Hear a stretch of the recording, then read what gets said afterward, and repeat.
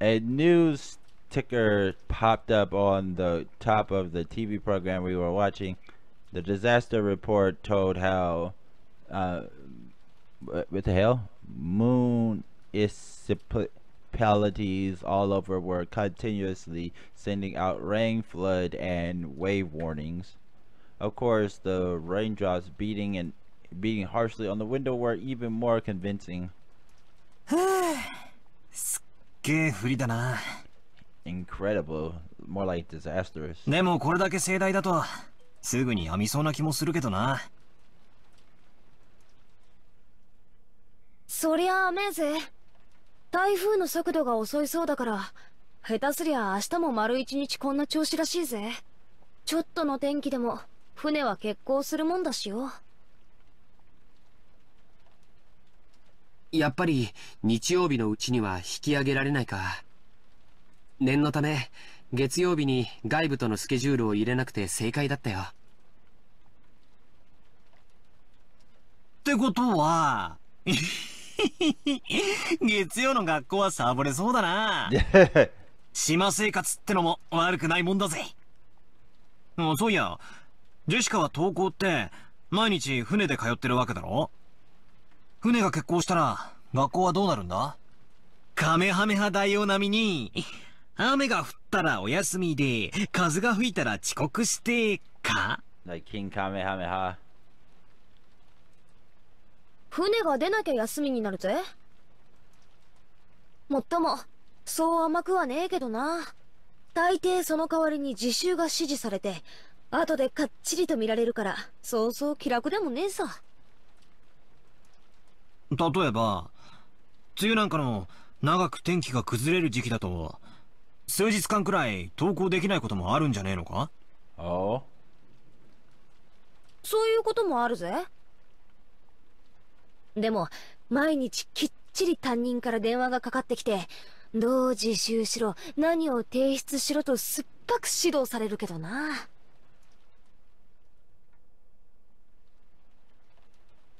バトラ君が考えてるほど簡単にはサボれないよ。船で通う人たちのルールに従って、しっかり勉強をしているよ。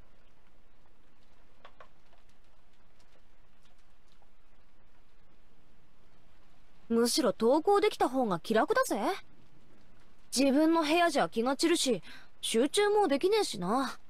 それでいて、問題集ばっかり数日もやらされてると、かなり精神的に応えるもんがあるぜ。大学の時にはよ、寮のあるところに入って、さっさとこんな不便な島はおさらばしたいもんだぜ。へえ。じゃあよ、ちなみに、行きは天気が良くても、帰りは悪くて欠航ってなったらどうすんだ？学校に泊まるのか？そういうのはよくあることだぜ。oh. だから、祈祷できない人用の宿泊所があってよ。そこに寝泊まりするんだよ。下手すりゃ数日間家に帰れないこともあったりするぜ。乗車率が200%を超えるような満員電車で、毎日通勤通学しなければならない人から見てみると、Ah, 船の通学なんて、趣があって良さそうだな、なんて無責任に思っちゃうけど、but it's not. やっぱり、いろいろと苦労があるんだね。よく無神経な観光客がそういうこと言ってるぜ。私は島の生活なんて、もうお腹いっぱいだね。早く高校出て、こんな島とはおさらばしたいぜ。高 I 校に think だっ it's just て that their 全寮制 parents のとこ are ろとかあ her ったのよ parents and grandfather are paying the ass. That's all. なんでわざわざ新島の学校を選んだんだよ私は最初からそれを希望してたぜ。でもお袋がよ、当主後継ぎとしての修行やらマナーやらがうんぬんってうるさくてよ。The fuck? Okay. Now she's tripping. 高校も地元になっちまったのさ。はあこんな島はごめんだぜ。早く都会で生活したいよ。So Did you guys forget about the little girl who's probably still outside in the fucking rain? Cause I'm pretty sure her mom forgot. 雨が降ろうが槍が降ろうが、ラフな格好でサンダルを履けば。5分足らずでコンビニに行けるような都会に引っ越したいぜ。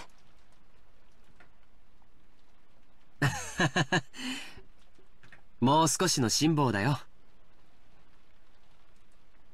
高校卒業まであとちょっとでしょそのちょっとも我慢できねえぜ。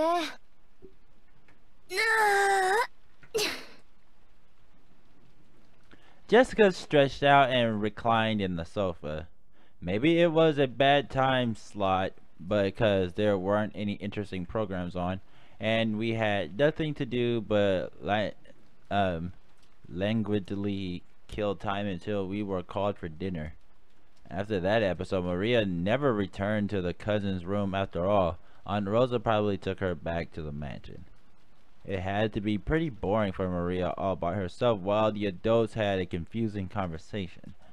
We thought we might as well head over to the mansion and see her, but the weather really was awful.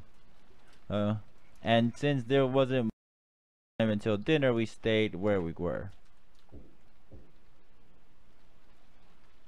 At that time, we heard the sound of a humble knock. Jessica answered. hi はい。お食事の準備が整いました。お屋敷へお越しください。It was Kanon Kun's voice.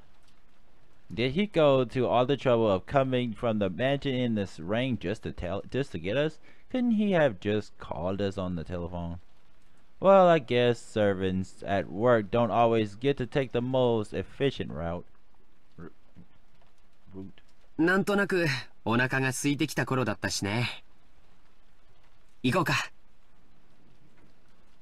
Georgia Nikki turned off the television and stood up.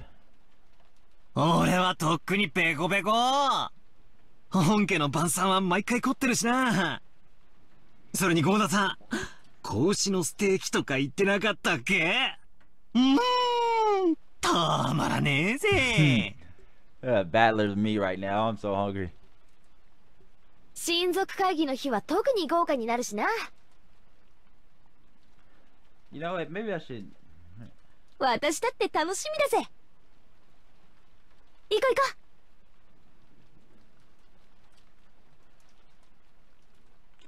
As we left the room, Kanon Kun bowed quite silently and respectfully. Uh, maybe I should order something. Grubhub. 外の振りはだいぶひどいだろう。Is it really nasty out there? Yep. はい。お召し物を濡らさぬよう。十分ご注意ください。After seeing the three of us out, Canon peered into the empty room. マリア様はいらっしゃいませんかう。一緒じゃないぜ。ローザおばさんと一緒じゃないのかよ。Uh oh.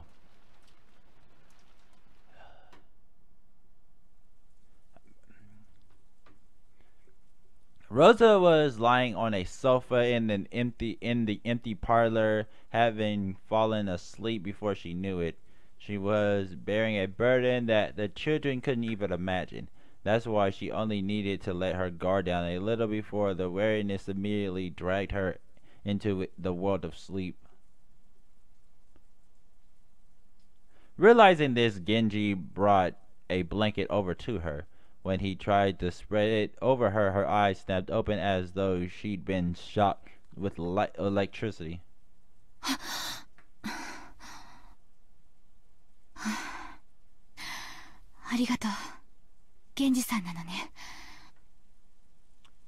When she realized that the thing that uh, had touched her was just a blanket and that Genji had been considering I mean, considerately giving it to her, she let out a sigh of relief.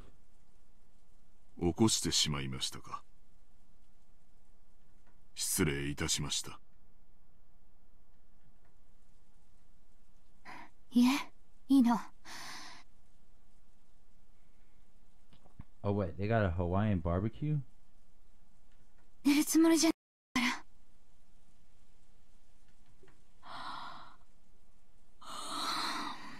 今は何時なの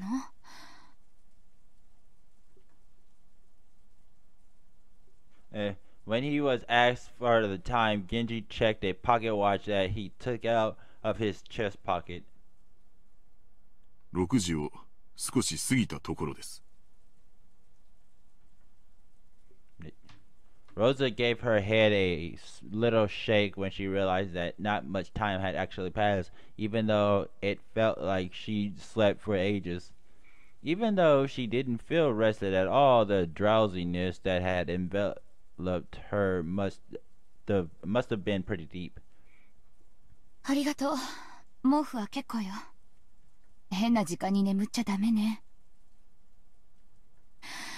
すっかり時間の感覚が狂っちゃったわ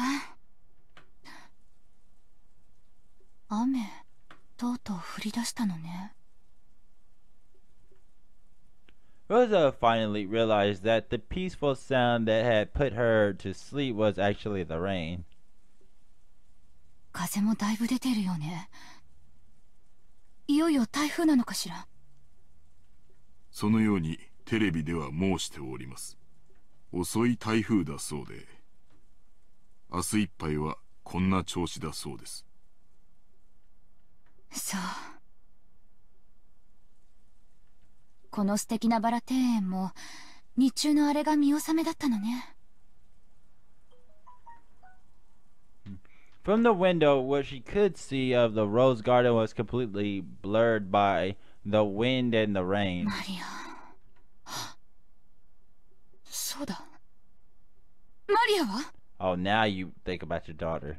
私はお見かけしておりませんが ゲストハウスにお戻りではないでしょうか Rosa knew her daughter's nature well, so a chill ran down her spine.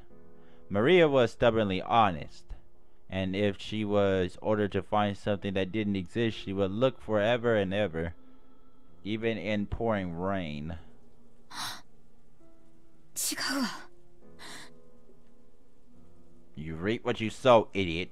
いとこの子たちは先に行ってしまったから あそこにはマリア一人あの子は誰かにもうやめろと言われない限りたとえ槍が降ってこようとあそこに居続けるわ傘もささずに私は感情に任せてなんてこと Stupid. Even though she'd known about Maria's simple honesty better than anyone, she'd once again lost control of her emotion and done something terrible. Rosa pushed Genji away and ran down the hall.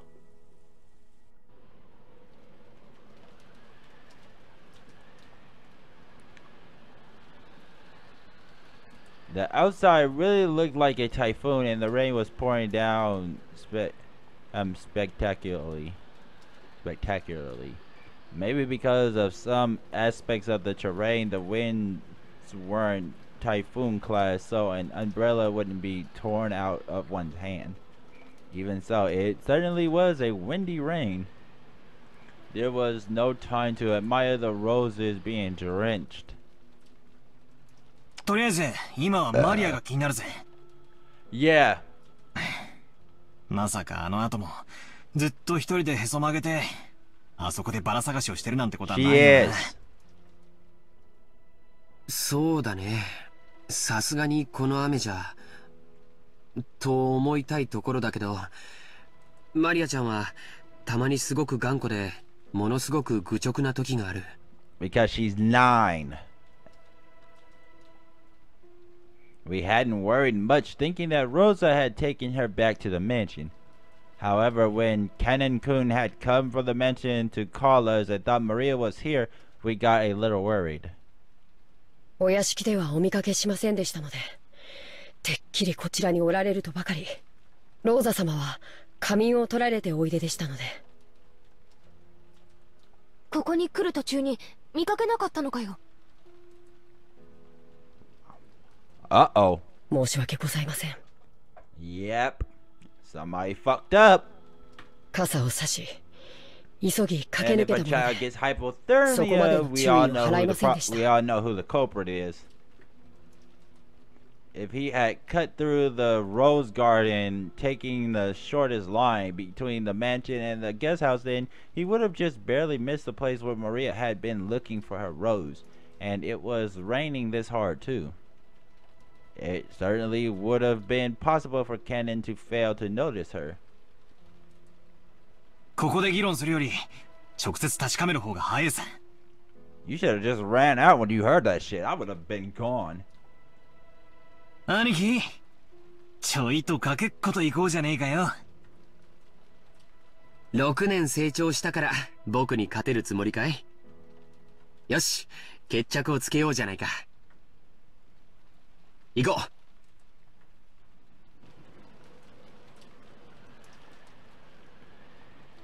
Georgia, Nikki, and I flew out into the rain. Jessica and Kanon followed us.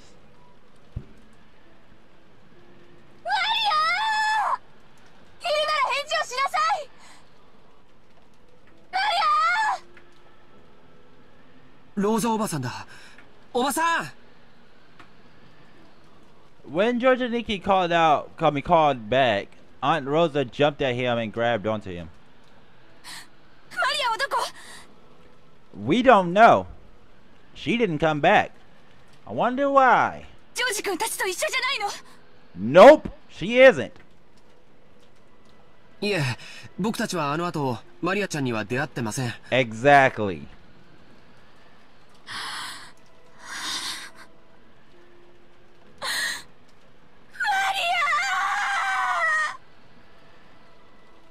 Six years ago, Maria was three years old. She was a cute and pure kid who just accepted whatever anyone said. But six years had passed since then. She's nine now, and experiencing the ups and downs of life should have taught her something. But Maria, are you telling me you're still as innocent and pure as you used to be? She's a child! Nine years old isn't that old, you dumbasses. マ As I circled the rose bed, something white unexpectedly turned to face me. It was a white umbrella. Maria was crouched down, holding a white umbrella and still searching for that rose. Her face, which had turned bright red from her crying her eyes out, was dirtied and watered in mud. With water and mud, it was a truly pitiful sight. お前まだ探してたのか見つからないマリアのバラ見つからないう Maria had probably been here since the rain started pouring down. Her shoulders were freezing. She looked tired to the bone. but unfortunately, but fortunately, since she was holding an umbrella, she wasn't completely soaked. That doesn't matter. The umbrella probably came from the handbag Maria always carried around. Thank goodness. Seriously, thank goodness. Battler-kun! Thank goodness you found her. Maria!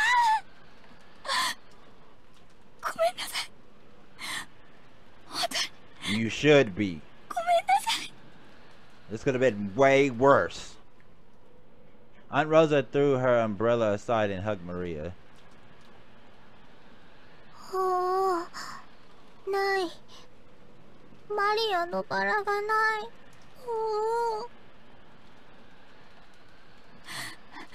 後でママも一緒に探してあげるからねだから 今日はお預けにしなさいねえ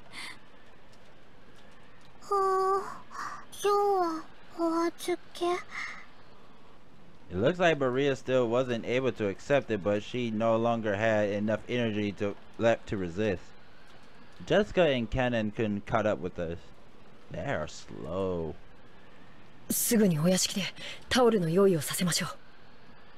A towel? マリ You ア need to run a hot bath for the ず child. っとここにいたのかごめんね本当に悪いままでごめんね I can't say anything to this, really. ローザおばさんとりあえずお屋敷に行きましょうこのままじゃマリアちゃん風邪をひいちゃう Hypothermia, more like. そうね。Fuck the damn cold. マリア行きましょう.ちゃんときれいにしないとおじい様に怒られちゃうわよ。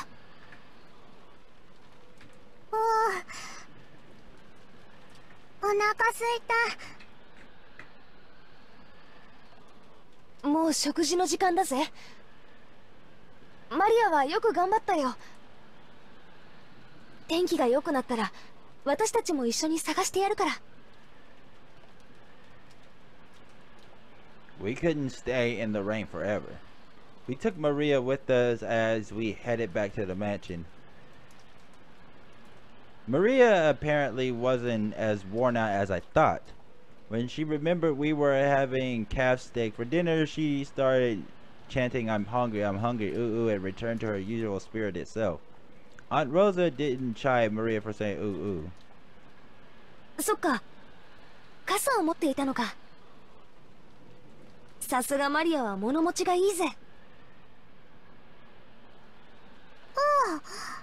リア傘なんか持ってない。Uh oh. なんだよ。じゃあその手に持ってる白い傘はどうしたんだよ？Look at her face. 貸してもらった Some caring person must have brought her an umbrella. A normal kid would look for shelter once it started raining, but Maria was too stubborn to give up so easily. So maybe that caring person gave up on telling Maria to find shelter, then decided to at least give her an umbrella. そうその人にお礼を言わないとね誰 Beatrice! Oh shit, the freaking demon music just started. That name Maria cheerfully mentioned, was that of the island's witch? Rosa took a deep breath and asked again, trying to do so in a way that didn't damage Maria's good mood. That wouldn't damage. So, うよかったわね Wait, I thought that said I thought they said that she asked again, not that she said that's wonderful. それで誰なの傘を持ってきてくれた人は Oh, there we go. Never mind. おおベアとリーチェおおお Maria immediately realized that her mother didn't believe her and started crying out unhappily again. So Rosa stopped pursuing the subject. It pro- it's it'd probably be faster to ask whoever lent Maria the umbrella during dinner rather than ask Maria herself. No. And once everybody starts saying nope. お父さんせめて晩餐にだけは出席してください it's not gonna happen! Your father's in Psycholand. Darby.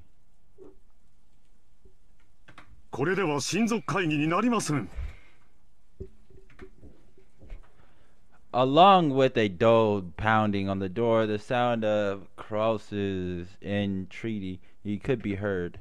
However, that voice seemed to be resigned to the fact that nothing it, it said would be heard. 金蔵さん。せめて夕食くらいは出んかね。あんたの顔を見ようと息子さんたちが集まってきてるんじゃないか。黙れ南條ビショップが聞かぬか。